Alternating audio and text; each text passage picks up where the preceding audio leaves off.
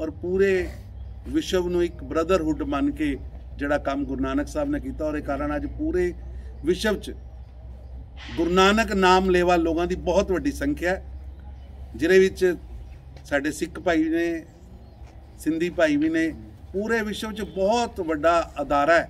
ਜਿਹੜਾ ਗੁਰੂ ਨਾਨਕ ਸਾਹਿਬ ਨੂੰ ਆਪਣਾ ਈਸ਼ਟ ਆਪਣਾ ਪੀਰ ਆਪਣਾ ਪੈਗੰਬਰ, ਆਪਣਾ ਗੁਰੂ, ਆਪਣਾ ਰੱਬ ਸਮਝਦਾ ਔਰ ਗੁਰੂ ਨਾਨਕ ਸਾਹਿਬ ਦਾ ਬਹੁਤ ਵੱਡੀ ਦੇਣ ਮਾਨਵਤਾ ਦੀ ਹੈ। ਇਸ ਵਿੱਚ ਪ੍ਰਧਾਨ ਮੰਤਰੀ ਸਾਹਿਬ ਨੂੰ ਪੰਜਾਬ ਦੀ, ਭਾਰਤੀ ਜਨਤਾ ਪਾਰਟੀ ਦੀ ਸਾਰੀ ਲੀਡਰਸ਼ਿਪ ਨੇ ਇਹ ਨਿਵੇਦਨ ਕੀਤਾ ਕਿ ਤੁਸੀਂ ਪਹਿਲੇ ਵੀ ਕਰਤਾਰਪੁਰ ਸਾਹਿਬ ਦਾ ਜਿਹੜਾ ਕੋਰੀਡੋਰ ਉਹਨੂੰ ਖੋਲਿਆ ਸੀ, ਕਿਉਂਕਿ ਲਗਭਗ 7 ਦਸ਼ਕਾਂ ਤੋਂ ਅਸੀਂ ਪੰਜਾਬੀ ਗੁਰਦੁਆਰਿਆਂ 'ਚ ਅਰਦਾਸ ਕਰਨੇ ਆ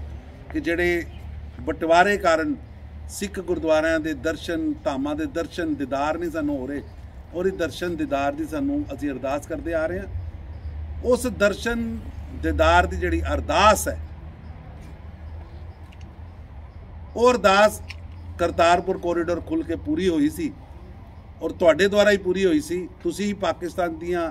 ਜਿਹੜੀ ਅਡਿੰਗੇ ਸੀ, ਪਾਕਿਸਤਾਨ ਜਿਹੜੀਆਂ ਸਾਰੀਆਂ ਰੋਕਾਂ ਲਾ ਰਿਹਾ ਸੀ, ਇਹਦੇ ਬਾਵਜੂਦ ਤੁਸੀਂ ਪਾਕਿਸਤਾਨ ਸਰਕਾਰ ਨਾਲ ਗੱਲ ਕਰਕੇ ਉਹਨੂੰ ਖੁਲਾਇਆ ਸੀ। ਹੁਣ ਕਿਉਂਕਿ ਤੁਸੀਂ ਖੁਲਾਇਆ, ਲੇਕਿਨ ਕਰੋਨਾ ਦੀ ਇੱਕ ਮਹਾਮਾਰੀ ਨੇ ਪੂਰੇ ਦੇਸ਼ ਨੂੰ, ਪੂਰੇ ਵਿਸ਼ਵ ਨੂੰ ਝਕੋੜ ਕੇ ਰੱਖਤਾ ਸੀ। ਉਸ ਕਰੋਨਾ ਦੀ ਮਹਾਮਾਰੀ ਤੋਂ ਸੰਗਤ ਨੂੰ ਬਚਾਉਣ ਵਾਸਤੇ ਦੇਸ਼ ਭਰ ਦੀਆਂ ਸਾਰੀਆਂ ਯਾਤਰਾ ਸਥਗਿਤ ਕੀਤੀਆਂ ਗਈਆਂ ਸੀ। ਔਰ ਕਰਤਾਰਪੁਰ ਕੋਰੀਡੋਰ ਵਾਲੀ ਵੀ ਸਥਗਿਤ ਹੋਈ ਸੀ। ਉਹਨੂੰ ਹੁਣ ਦੁਬਾਰਾ ਚਾਲੂ ਕੀਤਾ ਜਾਏ ਕਿਉਂਕਿ 19 ਤਰੀਕ ਨੂੰ ਗੁਰੂਪੁਰਬ ਹੈ ਔਰ ਪੂਰੇ ਵਿਸ਼ਵ ਦੇ ਨਾਨਕ ਨਾਮ ਲੈਵਾ ਲੋਕ ਇਹ ਨਿਵੇਦਨ ਕਰਦੇ ਨੇ ਕਿ ਉਹਨੂੰ ਜਲਦ ਖੋਲਿਆ ਜਾਏ ਔਰ ਅੱਜ ਭਾਰਤੀ ਜਨਤਾ ਪਾਰਟੀ ਪੰਜਾਬ ਉਹਨਾਂ ਆਵਾਜ਼ਾਂ ਦੀ ਆਵਾਜ਼ ਬਣ ਕੇ ਪ੍ਰਧਾਨ ਮੰਤਰੀ ਜੀ ਨਰਿੰਦਰ ਮੋਦੀ ਜੀ ਕੋਲ ਗਈ ਹੈ, ਕਿਉਂਕਿ ਇਹ ਉਹ ਘਰ ਹੈ ਜਿੱਥੋਂ ਸਾਨੂੰ ਹਮੇਸ਼ਾ ਹੀ ਪੰਜਾਬ ਵਾਸਤੇ ਨਿਆਂ ਮਿਲਿਆ ਇਹ ਉਹ ਘਰ ਹੈ ਜਿਹੜਾ ਸਾਡੇ ਸ੍ਰੀ ਗੁਰੂ ਗ੍ਰੰਥ ਸਾਹਿਬ ਦੇ ਸਰੂਪਾਂ ਨੂੰ ਅਫਗਾਨਿਸਤਾਨ ਚੋਂ ਚਲਦੀ ਵਾਰ ਚੋਂ ਕੱਢ ਕੇ ਲਿਆਇਆ।